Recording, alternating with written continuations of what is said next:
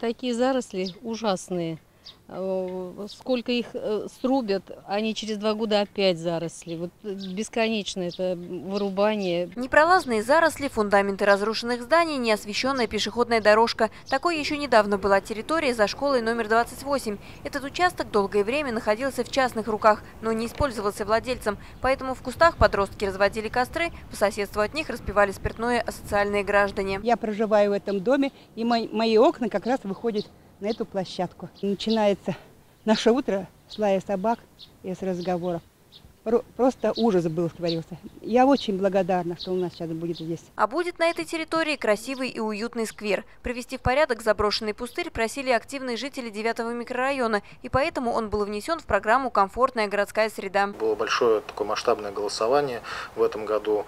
Эта территория вошла э, в тот список общественных территорий, который подразумевал э, благоустройство на следующий год. Но вот благодаря достигнутым соглашениям между компанией «Фусагро», между городом, администрацией, э, этот сквер уже, основной этап начал реализацию уже в этом году. Это на самом деле здорово. Именно жители принимали очень активное участие в, как в голосовании, так и в обсуждении этого проекта.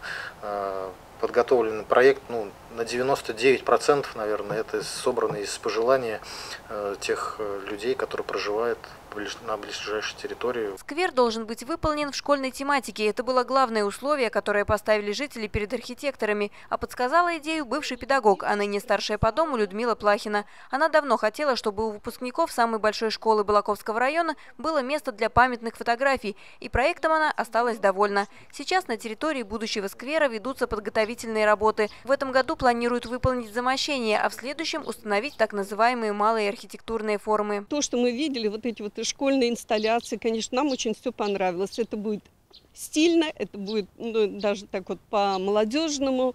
И, а это все нравится не только молодым, но и мы с удовольствием погуляем по новым дорожкам школьного сквера. Соглашение между компанией «Фосагро» и администрацией Балаковского района было подписано в начале июля, но работы на общественных территориях уже закипели. Школьный сквер, городской пляж в первом микрорайоне. Совсем скоро работы начнутся на набережной 50 лет ВЛКСМ, мысе Ерошкина, в скверах и парках в разных частях города.